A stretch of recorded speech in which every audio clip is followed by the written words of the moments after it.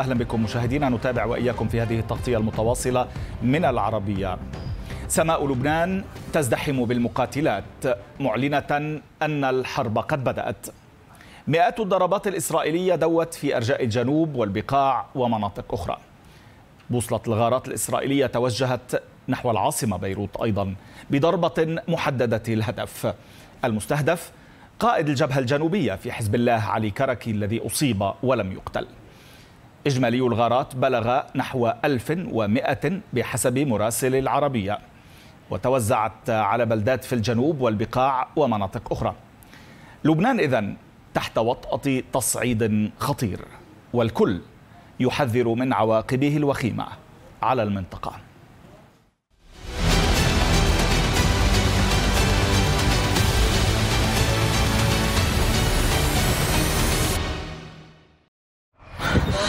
تحت البيت عنا هاي تحت البيت عنا يا جماعة هون صبر العبد صبر العبد لأنه الدخنة طلعت من هونيك هاي تحت البيت عنا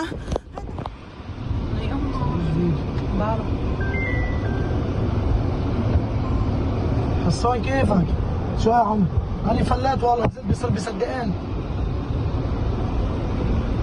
شو؟ إيه أنا فليت نزلت مرتي عشان أحبلها إيه مش عارف والله إلي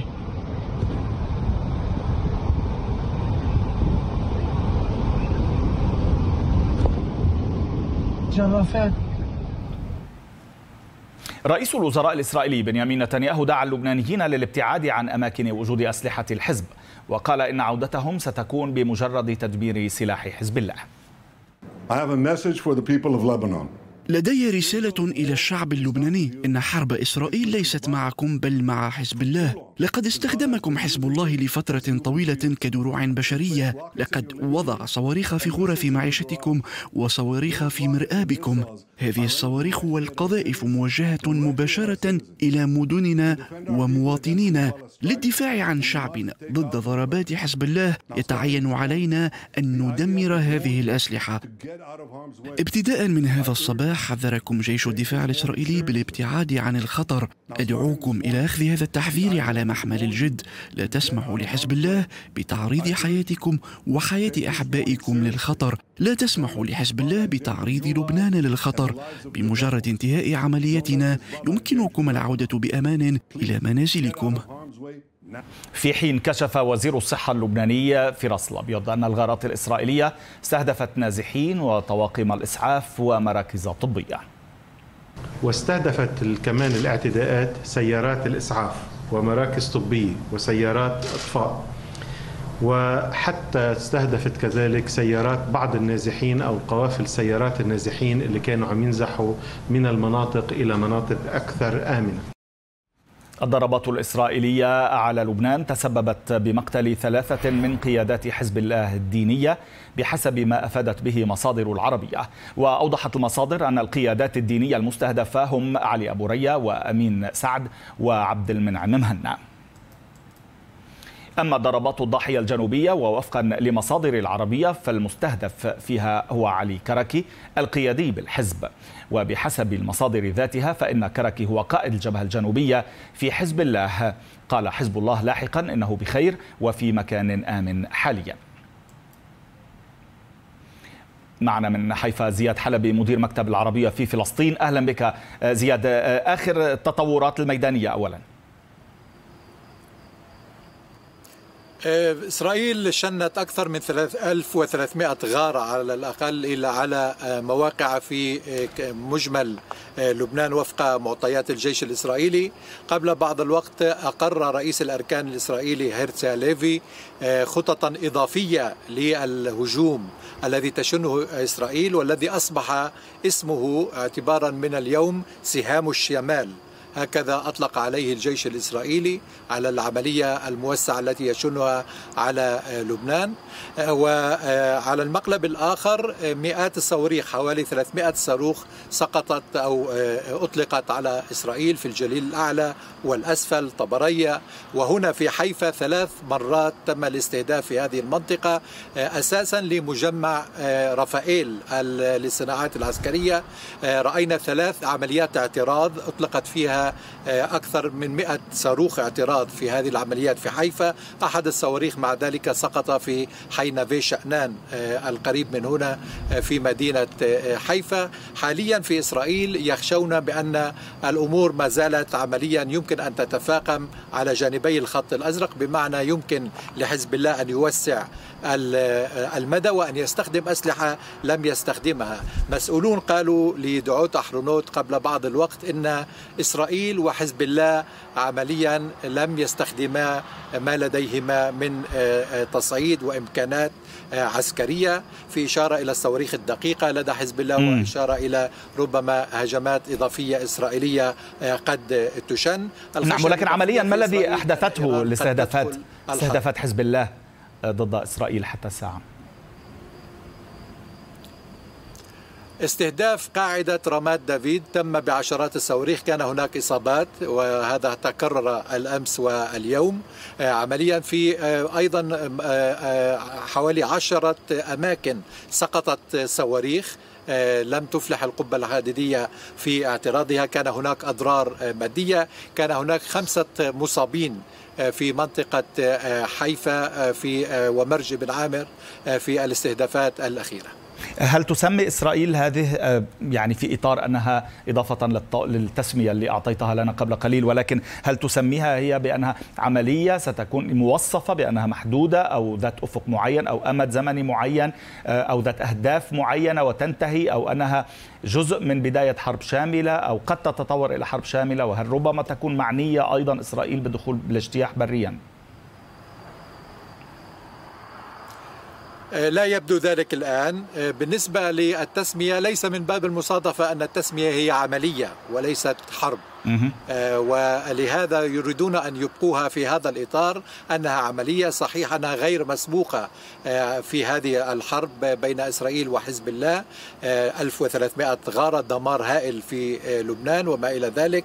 لكن حاليا يطلقون عليها عملية. هناك ضغط أمريكي كبير جدا على إسرائيل لمنعها من التفكير في شن عملية برية.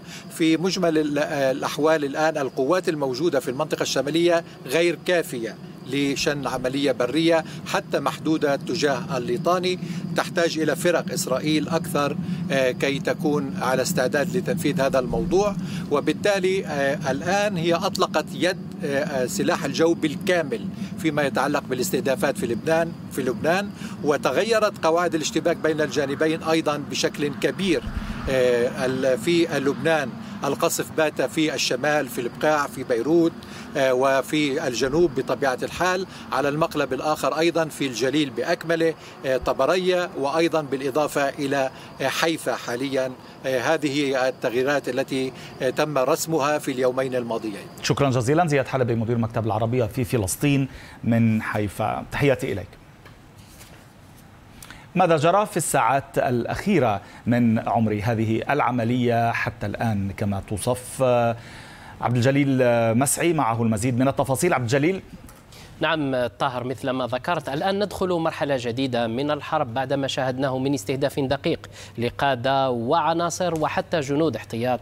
حزب الله الآن نشاهد مرحلة جديدة مثل ما قال الجيش الإسرائيلي وهي ضرب كل البنية التحتية وأيضا مخازن الأسلحة التابعة لحزب الله. البداية كانت بغارات جوية حسب المصادر الإسرائيلية. أيضا تتحدث عن 150 مقاتلة شاركت في الغارات الجوية. حتى الآن نتحدث عن مقاتلات أف 15 مقاتلات السيادة الجوية. نتحدث عن مقاتلات شبحية أف 35 وهي هدفها الرئيسي هو حمل ذخائر قادرة على خرق التحصينات وأيضا ضرب مخازن الأسلحة. هذه المرة شاهدنا الكثير من البلدات التي تعرضت للهجوم. من الصعب جدا ذكر أي بلدة في الجنوب أو في النبطية لم تتعرض للهجوم أو ربما لم يكن فيها هدف لحزب الله تعرض للهجوم. في نهاية المطاف إسرائيل هذه المرة استهدف استهدفت مناطق جديدة. نتحدث عن الاستهداف الكبير وليست الضربات المحدودة. نتحدث عن البقاع أين حددت إسرائيل مناطق آمنة يجب اللجوء إليها ومناطق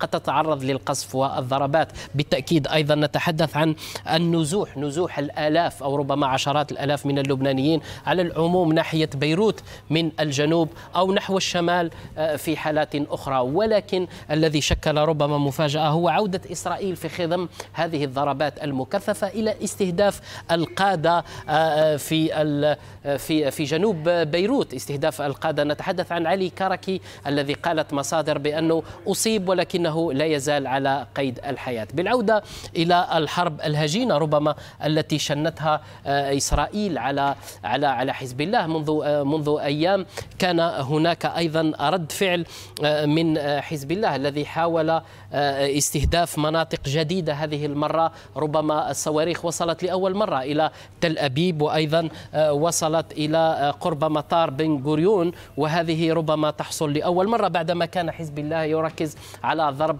الجليل الأعلى بالتحديد. لكن بالنسبة للاستهداف الأخير الذي استهدف القادة نشاهد بأن الرعيل الأول أو القادة الكبار الذين يشكلون القوة الضاربة لحزب الله تم اغتيالهم جميعا الآن. وكان آخرهم إبراهيم عقيل اليوم الجيش الإسرائيلي أكد بأن رد الفعل البطيء في وجهة النظر الإسرائيلية لحزب الله إلى حد الآن تعود إلى أن اغتيال إبراهيم عقيل لا يزال يشكل صدمة ولم تستطع قوات حزب الله وخاصة قواته الهجومية أو قوات النخبة الرضوان من التصدي لهذه الصدمة وتشكيل هجمات منظمة على آه، إسرائيل. اليوم وبعد تعيين شخص جديد في آه، حزب الله. نحن نتحدث عن علي كركي. لا نملك صورة مؤكدة له حاليا. يقال بأنه استهدف وبالتالي آه، من الممكن أن يكون أصاب مصاب حسب الكثير من المصادر وبالتالي فهو خرج عن الخدمة حاليا. ففي هذه الحالة أصبحت عناصر قليلة جدا لا تزال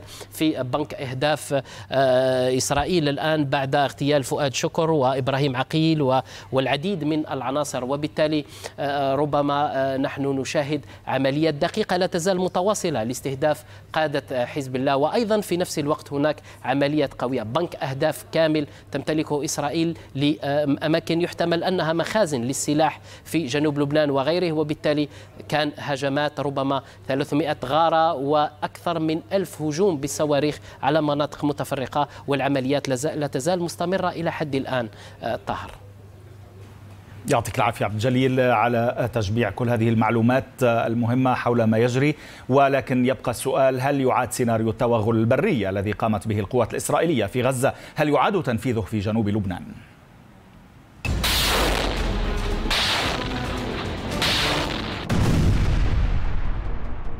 امتد لهيب المواجهة الجوية من سماء غزة إلى لبنان وإسرائيل. رشقات صاروخية وقصف متبادل خلف هذه المشاهد.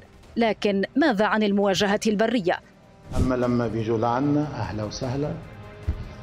هذا سيعطينا هذا اللي هو بيعتبره تهديد نحن نعتبره فرصة. بل نعتبره فرصة تاريخية. بل نتمناها. لأنه أكيد سيكون لها تأثيرات كبرى على هذه المعركة. مع إعلان إسرائيل عن مرحلة جديدة في الحرب حشدت قواتها ودفعت بتعزيزات عسكرية على الحدود مع لبنان. الهدف المعلن إعادة عشرات ألاف الإسرائيليين إلى تجمعاتهم السكنية التي نزحوا منها على الحدود الشمالية.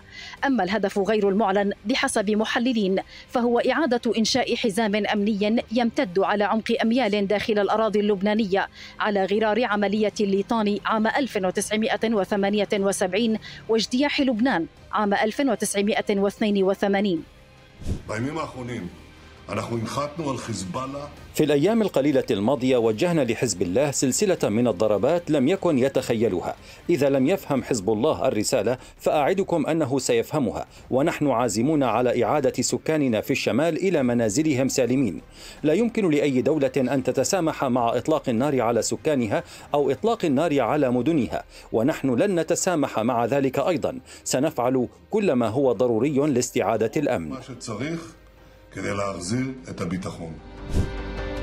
الأمين العام لحزب الله حسن نصر الله توعد إسرائيل بحزام أمني من جهنم كما وصف وسيناريو مشابه لما حدث عام 2006 عندما واجه مقاتلو الحزب دبابات الميركافا بصواريخ مضادة للدروع إسرائيل تضع في الحسبان أن أي توغل بري سيكلفها الكثير فعلى مدار أشهر أعد حزب الله تضاريس جنوب لبنان الجبلية والساحلية للتصدي لأي توغل بري وهو ما قد تواجهه إسرائيل بسياسة الأرض المحروقة التي اتبعتها في غزة. معنا في الاستوديو مستشار العربية للشؤون العسكرية والتسلح رياض قهوجي أستاذ رياض. أهلا بك. أريد أن أبدأ معك بالضربات التي تلقاها الحزب قبل بداية هذه العملية اليوم لنقل هل اتضح أنه تمكن من استيعاب هذه الصدمات المتكررة غير المسبوقة التي قالت إسرائيل إن حزب الله لم يكن ليتخيلها؟ قدرة الاستيعاب يعني لحد ما لأن حرب قائمة. اولا كان هناك ضربة لجزء من منظومة الاتصال جزء تتأثر بها منظومة القيادة والسيطرة ومن ثم تلا ذلك الضربة الأقوى والتي هي القضاء على قيادة قوة الرضوان بالكامل. هذه القوة التي تعتبر رأس الحربة في أي عمليات هجومية أو دفاعية للحزب ميدانيا. الضربات المتتالية هذه الغارات بهذا الكم الكبير منذ أي منذ بضعة أيام واليوم تحديدا هي أيضا تؤثر بشكل كبير على موضوع الترسانة من ناحية مخازن أسلحة من, ناحية منصات إطلاق صواريخ. هناك بعض الضربات التي عبر الفيديوهات شهدنا أنها كانت بالفعل إصابات ناجحة من الجانب الإسرائيلي لمنصات كانت فعلا منصات أو كان هناك أيضا مخازن أسلحة شاهدناها تتفجر. إنما جزء كبير من الاستهدافات اليوم كانت بهدف الترهيب لدفع الناس بالنزوح بشكل كبير لخلق أزمة للحزب أزمة مواصلات أزمة التعامل مع آلاف النازحين إن كان من الجنوب أو حتى من البقاع. وبالتالي عشرات الآلاف في بلد وضعه الاقتصادي سيء يستهدف أيضا مناطق ذات الأكثرية الشيعية أي البيئة. الحزب بشكل أساسي. وبالتالي هذه الأمور كلها لابد أن تضغط على استعدادات الحزب عسكريا طريقة التعامل معها يعني من أسابيع من من بضعة أيام كان الحزب يتعامل مع موضوع ال pagers وال walkie-talkie إلى آخره واليوم يتعامل مع موضوع حرب شاملة حملة جوية شرسة وزيادة اليقين أو الاعتقاد بعملية برية متوقعة وبالتالي هل سيكون مضطرا لاستخدام طاقة أكبر على الأقل في, في هذه الحرب إذا لم يعلن حربا شاملة؟ هناك قيادات جديدة استلمت مؤخرا حديثا هذا الموضوع هل تستطيع هل تتم هل هذه القيادات كفؤة بما فيه الكفاية. هل استطاعت ملء الفراغ بسرعة يعني بيوم أو يومين استلم القيادة وعليه أن يمارس مهام الأرض؟ هذه جميعها أسئلة جدا مهمة. نحن لا نعلم حتى الآن تحديدا مدى الضرر. يعني اليوم هناك تساؤل لماذا حجم هجمات حزب الله الصاروخية محدودة؟ هل هذا بسبب انتكاسة في قدراته وقدراته النارية؟ أم هذا متعمد من جانب الحزب يحاول أن يقنن عملية الضر... عملية الاستهداف لا يريد أن يستخدم ترسانته يعني كلها دفعة واحدة. هل يخشى من أن هذه الحرب قد تطول كما جرى في غزة وبالتالي يصبح مخزونه في خطر خاصة مع أن إسرائيل دمرت كما نعلم منشأة مصياف التي كانت تنتج صواريخ لحزب الله. الطرق الإمداد من سوريا من العراق اليوم مهددة نتيجة الضربات الإسرائيلية. وبالتالي على الحزب أن يقنن بين عمل من استخدامه لهذا الصواريخ.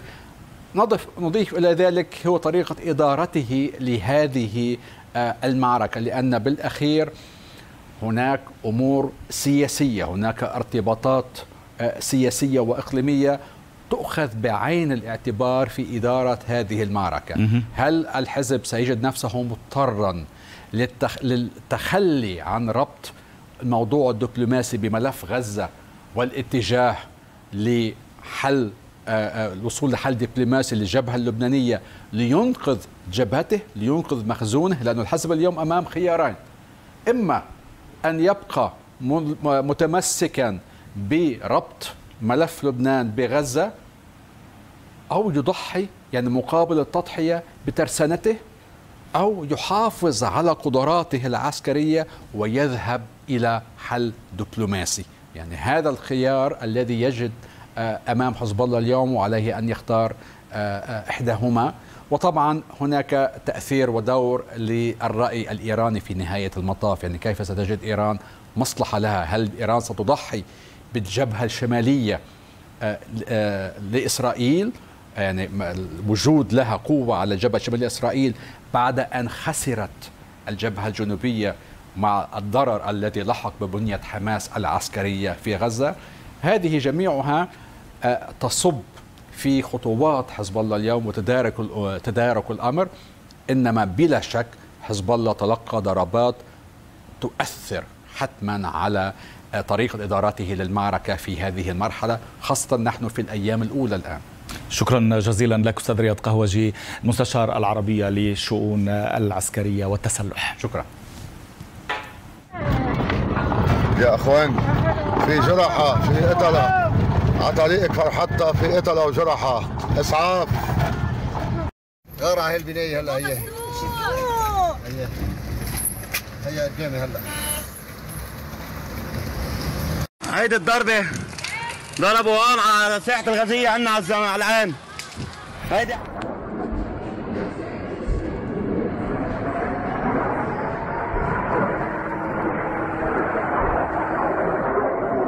Jangan lipat pokok. Dia, dia, dia, dia.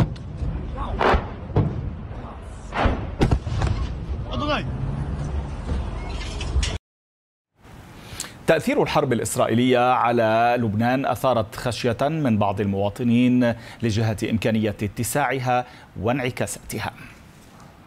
نحن من الأساس عم نقول ما بدنا حرب. سمحت السيد قال نحن ما بدنا نقصف المدنية عم نقصف يعني مراكز عسكرية. ولكن هن مجرمين مجرمين غدارين ما بيخافوا الله تخطوا خطوط الحمر يعني تجاوزوا كل الخطوط ونحن بنقول نحن مش أحسن من مش أحسن من هالشهداء اللي عم عم بيروحوا. ونحن منهم منهم وفيهم نحن ضد الحرب الأول. نحن ضد الحرب. ومقاسي بقاش فيها نحمل. أنا اطشت أجي من فجار المرفأ. في تخوف أكيد في تخوف. لأن اليوم في فعل وردة فعل. لأنه في حال حزب الله عمل عملية كبيرة بترجع تدمر إسرائيل أكثر من هيك. إحنا ما بنتحمل وترتفع في هذه الأثناء أعداد قتلى الغارات الإسرائيلية في لبنان إلى 492 قتيلا وفقا لوزارة الصحة اللبنانية إضافة إلى 1645 جريحا. إذا الحديث الآن من وزارة الصحة اللبنانية عن 492 قتيلا إضافة إلى 1645 جريحا جراء الغارات الإسرائيلية على لبنان. ماذا الآن عن حركة الطيران في مطار رفيق الحريري الدولي في بيروت؟ محاسن مساء الخير. مساء الخير طاهر. حركة الطيران شبه معدومة وخطوط جوية عالمية أوقفت رحلاتها إلى لبنان وفي المنطقة حتى. مع ارتفاع حدة التصعيد بين حزب الله وإسرائيل باتت الأجواء اللبنانية تخلو من الطائرات المدنية وكما نشاهد على موقع فلايت رادار المنطقة هنا معظم الطائرات المدنية تجنبت الأجواء اللبنانية وباتت هذه المنطقة شبه مغلقة إلا من المقاتلات العسكرية الإسرائيلية التي تحلق فوق الأجواء اللبنانية. وبطبيعة الحال تراجعت حركة مطار رفيق الحرير الدولي في بيروت وأوقفت 14 شركة طيران أوقفت رحلاتها وتراوحت هذا العدد بما يقدر بين 30 إلى 40 في المئة. أبرز هذه الشركات التي أوقفت رحلاتها كانت الخطوط الجوية السعودية والكويتية واللوفتهانزا الألمانية وحتى الخطوط الجوية السويسرية والفرنسية وغيرها. شركة طيران الشرق الأوسط تقوم الآن بسد هذا الفراغ الحاصل مع توقف بعض الشركات عن القدوم إلى لبنان لتسيير الميدل إيست. رحل لتسير الميدل إيست رحلات إلى كل الخطوط والوجهات. وفيما يتعلق بموضوع الطيران عبر مطار بيروت رفيق الحريري الدولي فإن الأمور تسير كل يوم بيومه بحسب السلطات وذلك بحسب التطورات والمعلومات الأمنية التي على أساسها يتم تعليق الرحلات أو تسييرها بحسب السلطات المعنية.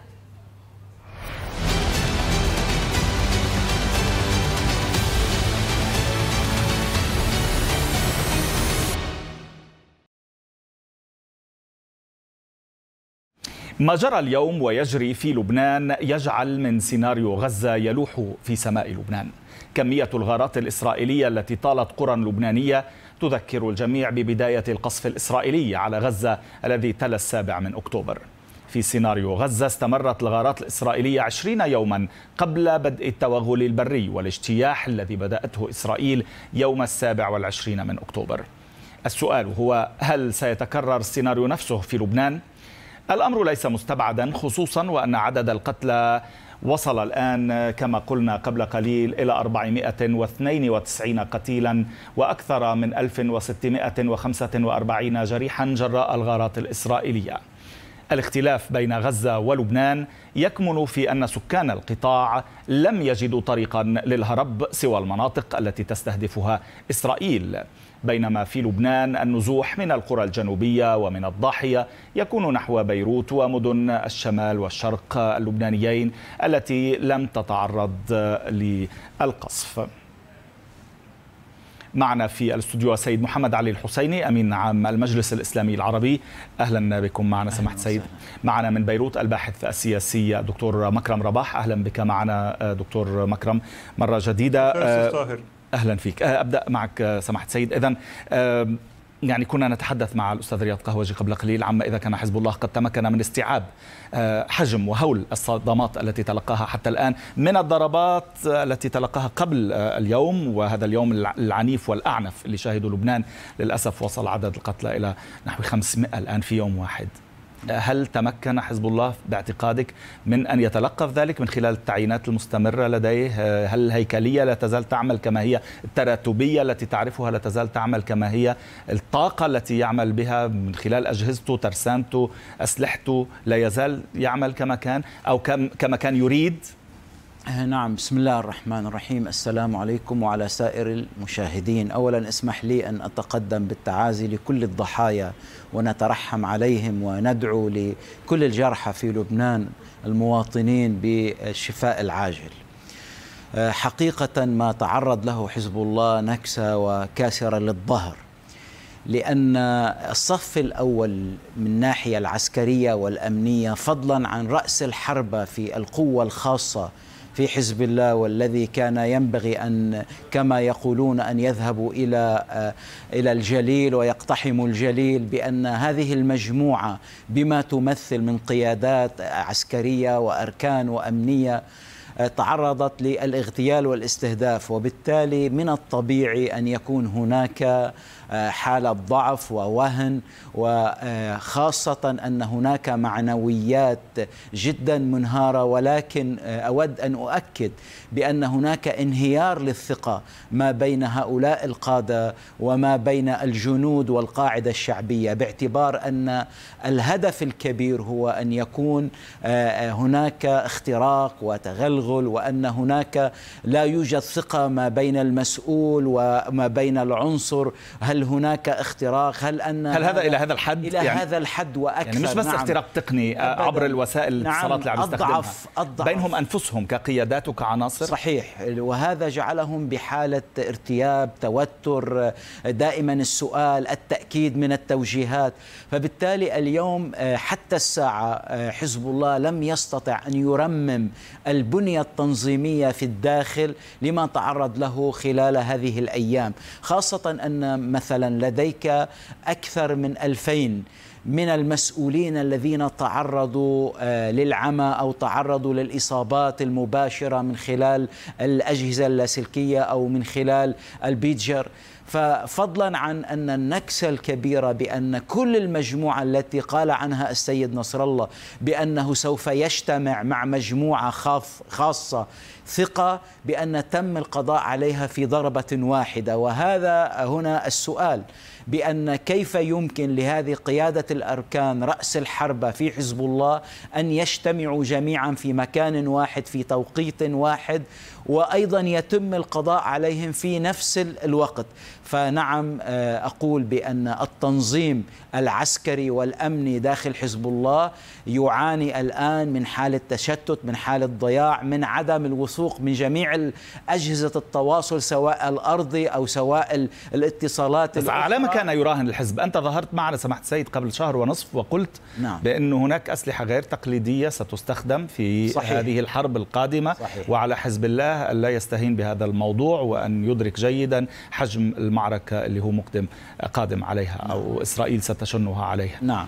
كان يراهن على الاستخفاف استخف بالإسرائيلي ولم يراعي بأن هذا الإسرائيلي منذ 2006 إلى اليوم يحضر ويجهز ويستعد ويدرس أين خاب أين أصاب أين نقاط الضعف أين نقاط القوة وهو يرصد كل ذلك.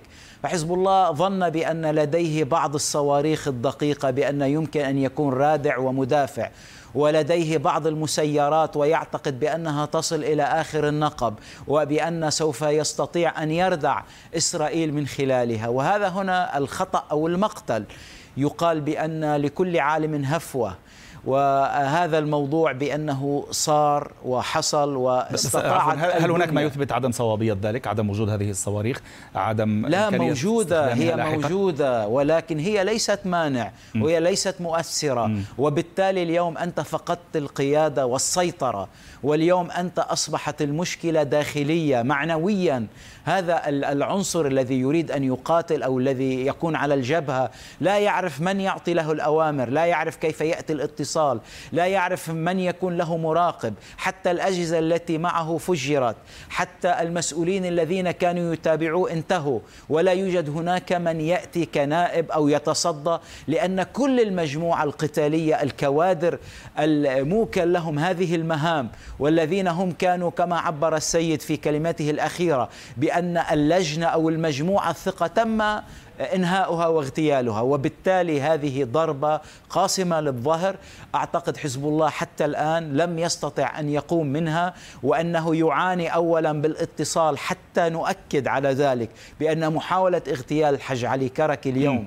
أبو الفضل يأتي للتأكيد بأن هناك اختراق واختراق عميق جدا داخل آه، الصف الأول بالحزب وليس عناصر آه، عادية وبالتالي عليه أن يراجع كل مجلس الشورى عليه أن يبدأ التحقيق وخاصة المعنيين بالحماية والتواصل والذين على علم واطلاع بأوقات الاجتماعات والتنقلات والبيت الآمن هاوس سيف حتى يفهم شو شو اللي يخلي قيادات صف أول آه، تكون مخترقة؟ يعني هناك أسباب عميلة. كثيرة هناك أسباب كثيرة. لا داعي أن يكون هناك أسباب مالية هناك أسباب نفسية هناك أحقاد داخلية. بالنتيجة حزب الله كأي حزب أو كتنظيم فلديه مشاكله الشخصية ولديه أيضا آه، آه، نقاط ضعفه. وهذا الجسم الكبير الذي نحن نراه تبين أنه بخلال ساعات أن هذه القوة المدعاة استطاع الجيش الإسرائيلي أن ينهي عليها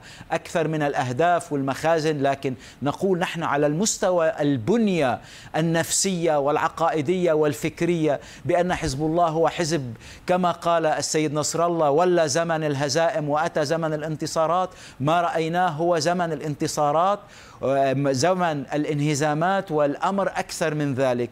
تبين لنا ولكل لبناني ولكل من يدعي خاصة إلى أهلنا وإخواننا في الجنوب الذين اليوم نزحوا بالآلاف خلال ساعات رأيناهم وقلوبنا معهم بأنهم تركوا البلاد وتركوا كل ما لديهم وتوجهوا نحو بيروت. لم يستطع السيد حسن نصر الله بما يملك من صواريخ وأداة وإمكانات وترسنة من الطائرات والأسلحة أن يحمي الجنوب. فما بالك لبنان؟ فنحن اليوم نتكلم بواقعية بتحليل. نريد أن نضع النقاط على الحروف. أنا قلت له لا تقول غدا لا أعلم أو لم يخبرني أحد.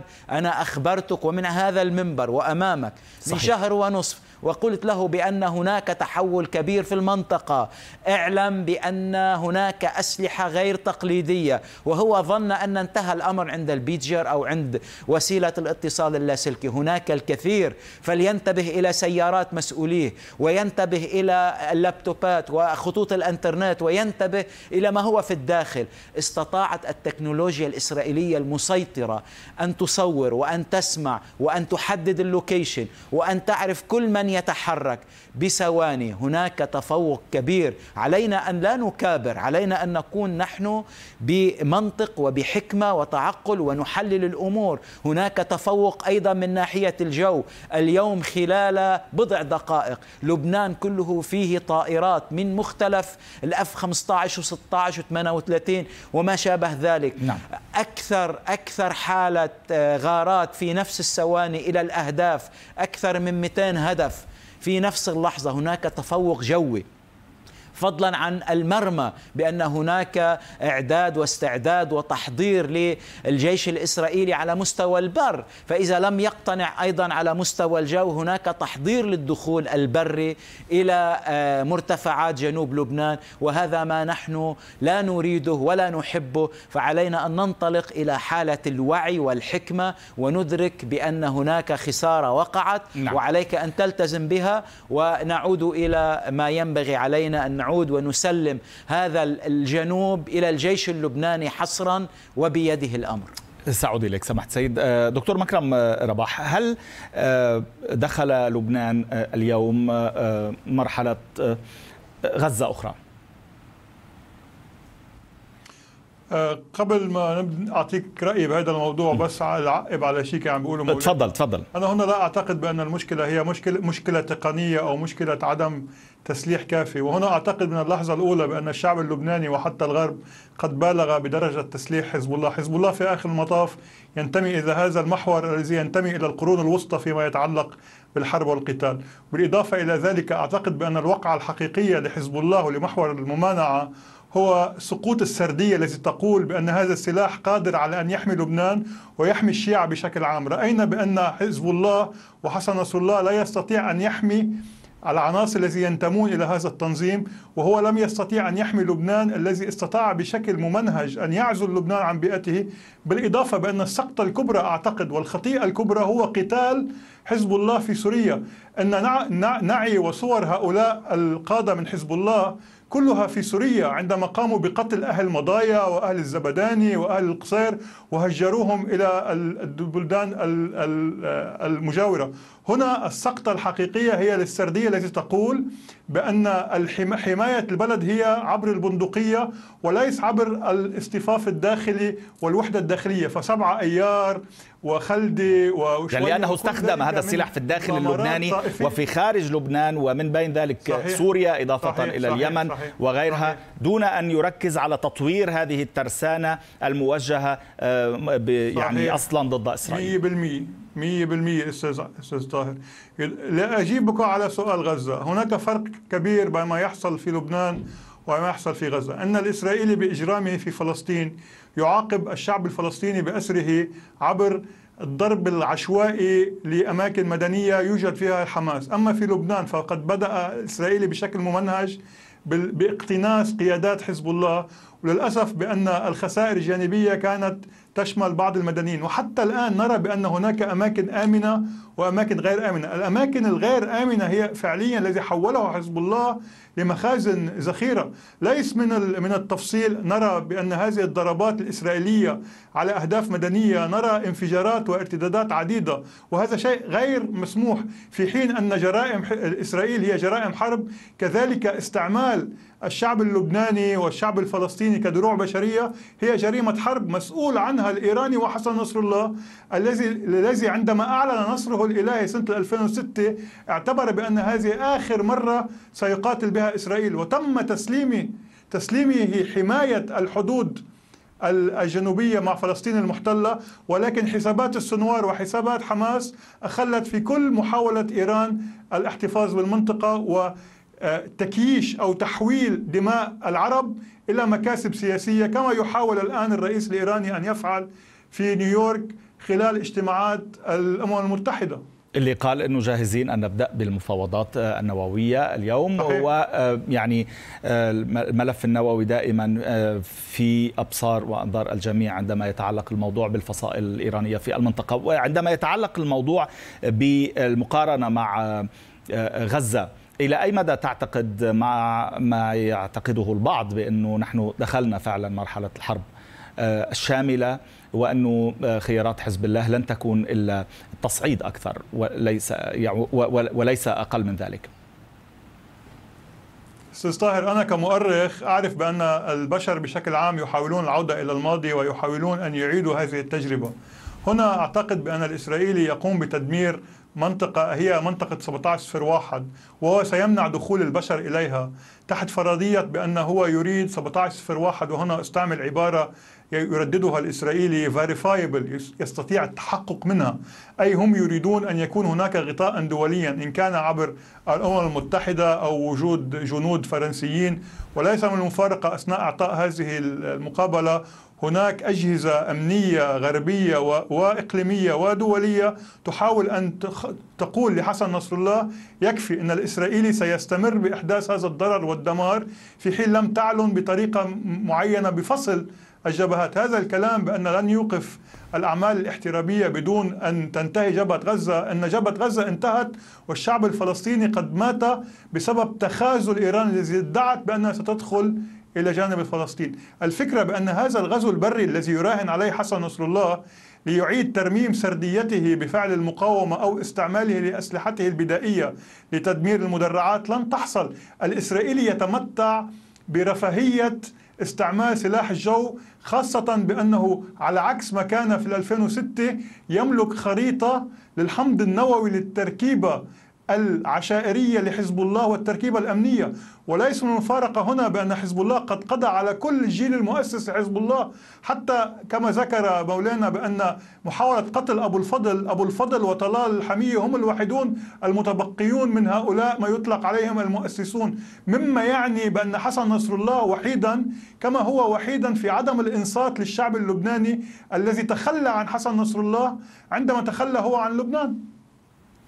أعود إليك بعد قليل. سمحت سيد هل هناك من قيادات دينية؟ سمعنا اليوم عن مقتل ثلاثة من القيادات أربعة. الدينية أربعة أيضا. نعم. ما أهميتها في الحزب؟ وما دور القيادات الدينية في إمكانية التأثير على القرار السياسي أو قرار الحرب والسلم بطبيعة الحال حزب الله هو حزب ديني وهو من حركات الإسلام السياسي. وبالتالي من يتصدى والقائد له لا بد أن يكون من رجال الدين.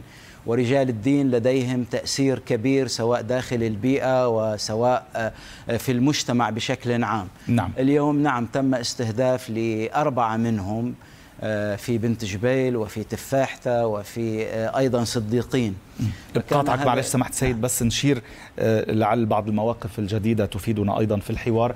الخارجية السعودية تقول أن المملكة تتابع بقلق بالغ تطورات في لبنان وتحذر من خطورة اتساع العنف وتضيف المملكة تحذر من الانعكاسات الخطيرة للتصعيد على أمن المنطقة واستقرارها. إذا هذه آخر الأخبار العاجلة الواردة عن الخارجية السعودية. إذا نحث جميع الأطراف على التخلي على التحلي بضبط النفس والنأي بالمنطقة عن مخاطر الحروب. هذه المواقف تردكم تباعا في شريط الأخبار العاجلة على شاشة العربية في هذه التغطية المستمرة. اعذرني على المقاطعة. لا دائما المملكة العربية السعودية الشقيق الأكبر للبنان دائما في هذا الاهتمام والمتابعة وتريد أن يكون دائما لبنان بوضعه بسيادته بدستوره. لبنان حر مستقل لديه الأريحية ولديه التقدم والتطور. أن يكون لبنان كما كان لبنان نعم ولكن هي قلقة حقيقة على ما يجري على شعب لبنان وعلى لبنان التاريخي. فمشكورة في في هذا الموقف. نعم. نعم. كنا نتحدث معكم سماحة السيد عن القيادات الدينية ومدى تأثيرها. نعم. كنت تقصد يعني ضرورة اتخاذ القرار في مجلس شورى الحزب أو لا يعني قلت أنا بأن حزب الله هو من الحركات الإسلام السياسي نعم. ومن يتصدى في قيادته الجميع هم من رجال الدين وأن له دور مهم خاصة داخل البيئة والمجتمع. باعتبار أن هذا الرجل الدين هو لديه قرية ولديه إمكانات ولديه مسؤوليات ولديه تأثير بشكل عام على المجتمع على المجتمع. اليوم تم استهداف بعض منهم خاصة إمام بلدة بنت جبيل الشيخ أمين سعد.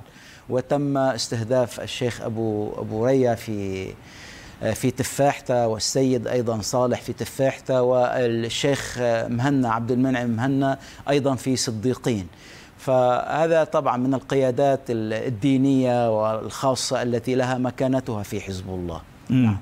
بخصوص يعني العلاقة مع إيران في هذا في هكذا وضع أريد أن أعود إلى هذه النقطة معك بعد قليل عندما يتعلق الموضوع بقرار السلم والحرب ومدى تأثير المفاوضات الإيرانية على قرار الحزب. ولكن في موضوع القيادات الدينية أتابع الآن. في ظهوركم السابق معنا تحدثتم عن أن بعض النواحي الشرعية نعم. في موضوع القتال مع ضد إسرائيل. وما إذا كان القتال يعني بدفاعا أو هجوما يعني من النواحي الشرعية يختلف بالنسبة إليكم وبعض القيادات الحزبية الموالية لإيران أو نعم. لحزب الله تقول عكس ذلك إنه هذا يعني بالنتيجة تسميه جهادا الآن يعني عندما يكون لبنان أمام مثل هذه الضربات الإسرائيلية المتكررة أو حزب الله بشكل أساسي مع مناصريه. ما قولكم من الناحية الشرعية؟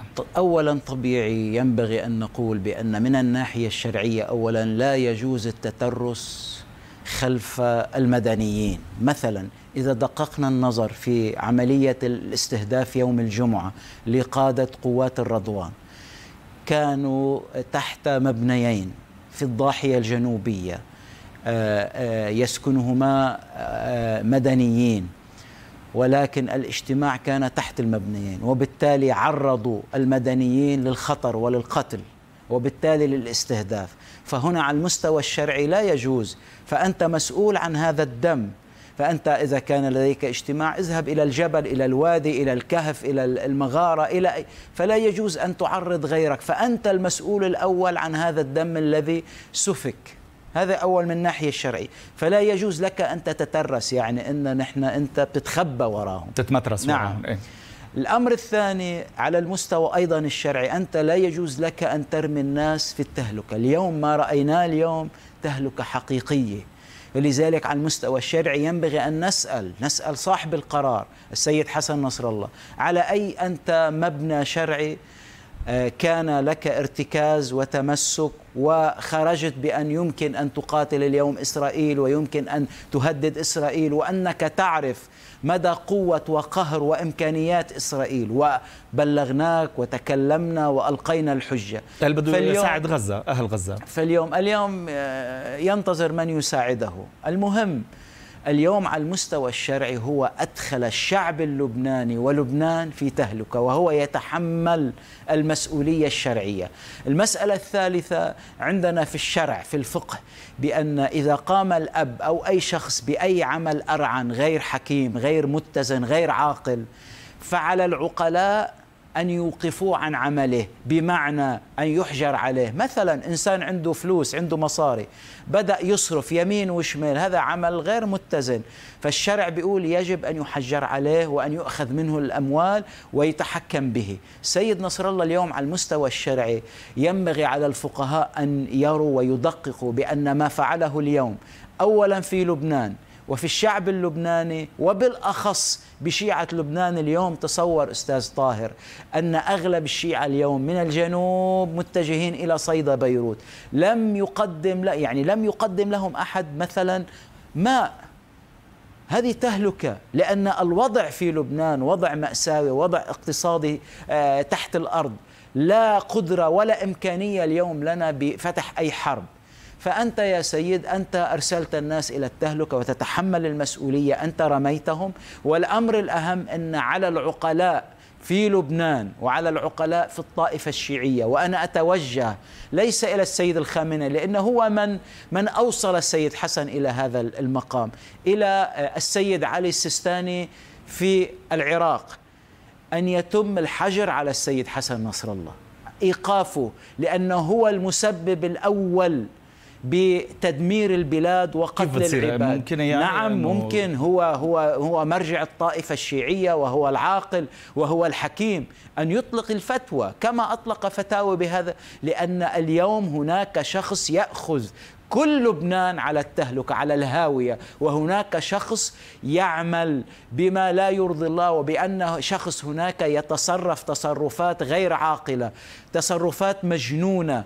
فلا بد من أخذ الموقف الشرعي فضلا عن الموقف السياسي نعم هذه وظيفة المراجع الدينية خاصة في النجف ينبغي أن تصدر هذه الفتوى هذا نعم. المنطلق الديني هذا من الناحية الدينية نعم. تابع سياسيا نعم. مع الدكتور مكرم من بيروت لأسأله إذا كان هناك عقلاء يعول عليهم في السياسة في الداخل يمكن أن يضغطوا باتجاه ما ممكن أن يوصلوا الأمور إلى تسوية ما حقيقة يتم العمل عليها أم أن لا صوت فوق صوت المعركة اليوم.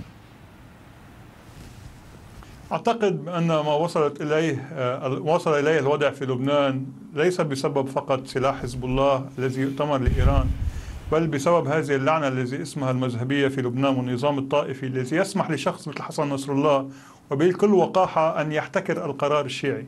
ويقول أنا أحمي الشيعة وأحكي وأتكلم باسم الشيعة. وكما تعرف أستاذ طاهر بأن عبر السنوات كان هناك هذا الحلف الشيطاني بين السلاح وبين الفساد. فاعتبروا بأن ترداد هذه المقولة بالمقاومة وكل ذلك من لا صوت يعلو عن صوت المعركة. تسمح لهم بأن يتقاسموا مغانم السلطة. في هذه المرحلة بالذات حزب الله قد استطاع أن يسخر كل الدولة لتكون خادما عنده وبالتحديد حكومة الميقاتي ووزير خارجيته. علينا أن نذكر سنة 2006 قد خسر حزب الله عسكريا في آخر أيام المعركة. كان في وضع جدا دقيق ولكن تدخلت حكومة الرئيس السنيورة وذهب إلى نيويورك العظيم طارق متري وقام بمفاوضة المجتمع الدولي من أجل الاستحصال على 1701 التي التي حافظت على الوجه للبنان ولحزب الله م. ولكن للأسف هذا الرهان على أن الطبقة السياسية اللبنانية تستطيع أن تضع حد لحسن نصر الله هو شيء غير غير جدي وغير دقيق. أنا لا أملك العمق الفقهي والعلمي كالسيد الحسيني ولكن بالعامية يقال بأن الغشيم خي ابن الحرام. وهنا إن كان هناك غشمنة معينة من محور الممانعة فيما يتعلق بالترتيبات الأمنية والفكرة الأساسية بأن الحرب ليست فقط سلاح بل هي جبهة داخلية متراصة. وهذا شيء من اللحظة الأولى قلنا لا نستطيع أن نذهب إلى حرب مفتوحة إن كان لا نملك نحن رئيسا للجمهورية. حتى جوزيف بوريل وهوكستين عندما أتوا إلى لبنان قالوا للرئيس نبيه بري انتخبوا رئيسا للجمهورية. رئيس الجمهورية وإعادة تكوين السلطة في لبنان. هو أحد أهم الدروع لحماية لبنان. ولكن كما تعرف أستاذ طاهر أن الطبقة السياسية اللبنانية هي لعنة بحد ذاتها وهي التي سمحت بتحويل هذا البلد لأن يصبح منصة إطلاق صواريخ للخامنئي ولحسن نصر الله. تبقى معنا دكتور الخارجية الإماراتية أيضا تعبر عن بالغ القلق من الهجمات الإسرائيلية على لبنان والمزيد من خطوط الطيران الدولية تلغي رحلاتها من وإلى بيروت اعتبارا من الرابع والعشرين من سبتمبر. المزيد من الضغوط الدولية والإقليمية أيضا لمحاولة وقف هذه العملية أو منع التصعيد على الأقل كي لا تتحول هذه العملية الإسرائيلية. إلى حرب شاملة على الجبهة اللبنانية. تحدثنا سماحة سيد عن القيادات الدينية. ولكن بالقيادات السياسية الأخرى غير المحسوبة على حزب الله غير المتعاطفة مع حزب الله والتي تعتبر معارضة لحزب الله أيضا في الداخل اللبناني. إلى أي مدى ذلك الذي وصفه الدكتور مكرم قبل قليل باللعنة على الشعب اللبناني؟ إلى أي مدى تعتقد بأنه بعض القيادات السياسية الكبيرة في لبنان تتحمل أيضا مسؤولية كيفية التعاطي مع حزب الله في الداخل اللبناني حتى وصلنا إلى ما وصلنا إليه؟ نعم مع الأسف لبنان اليوم رهينة ومأخوذ رهينة. اليوم القوة التي يمتلكها حزب الله في الداخل وعلى صعيد الداخل استطاع أن يروض أكثر القيادات السياسية واستطاع أن يأخذ الحكومة بيد وأن يأخذ المجلس النيابي بيد. وأيضا أن يتطور إلى أن يتجه إلى بعض المؤسسات وبعض القيادات التي يمكن أن يتحكم بها. فجعل اليوم لبنان حقيقة رهينة لمصالحه يستخدمها ويمكن أن يردعها ويتصرف بها. لذلك نحن عولنا منذ البداية أن يكون هناك موقف كبير وموقف حاسم وتاريخي ووطني لرئيس مجلس الوزراء السيد ميقاتي وأن يكون هناك للوزراء وللنواب أن يكون لديهم موقف سياسي واضح. وبالتالي ينبغي أن نرى بأن لبنان كله يتجه اليوم إلى دمار، لبنان ليس غزة، لبنان هذا البلد العميق التاريخي الذي يحتوي أنا لا أقول لعنة، أنا أقول بلد الرسالة الذي فيه تنوع طائفي إيجابي من الثقافات الذي يمكن مش هو اللعنة القيادات لا أنا أقول أن يكون هذا ما يقصده الدكتور نعم وما نعم. قال حرفيا وما عدت نعم, أنا. نعم. نعم. أن يكون أدري أن يكون الرديف لأن يكون هناك التنوع الطيب الفكري الإيجابي نعم. الثقافي نحن هذا نريده. لا يمكن أن نتخلى عن لبنان الذي نعرفه ولبنان الذي يعشقه ويحبه العرب. لذلك بلحظات يمكن أن يتحول لبنان إلى إلى إلى جحيم هذا غير مقبول. فمن هنا على القيادات السياسية والقيادات أيضا الدينية والقيادات الأمنية حتى على مستوى قيادة الجيش ينبغي أن يكون لها كلمة حاسمة بأنني لا أسمح أن يقاد كل لبنان إلى الجحيم. فلا بد أن يكون هناك موقف مسؤولية وطنية نتحملها جميعا.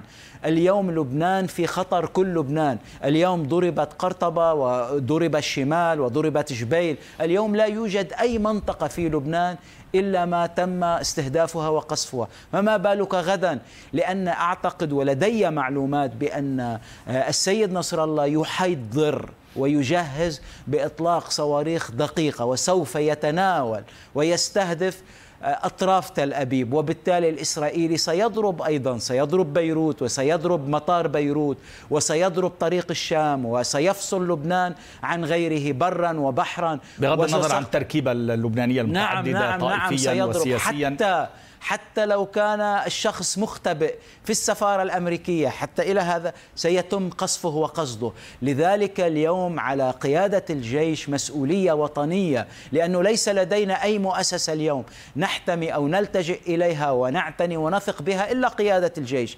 فاليوم مسؤولية كبيرة على قيادة الجيش أن تحمي لبنان أن تحافظ على لبنان أن تأخذ لبنان إلى بر الأمان. فبالتالي القيادات السياسية والعسكرية وأيضا الأمنية أن لا يكونوا عصا طوعة في يد حزب الله فلا بد أن يكون هناك موقف متمايز عن حزب الله عن خيارات حزب الله حتى يعرف السيد نصر الله بأن نحن لا نؤيده نحن لا نريد أن نمضي معه نحن لسنا معه بهذا الخيار المدمر للبنان والقاتل للشعب اللبناني.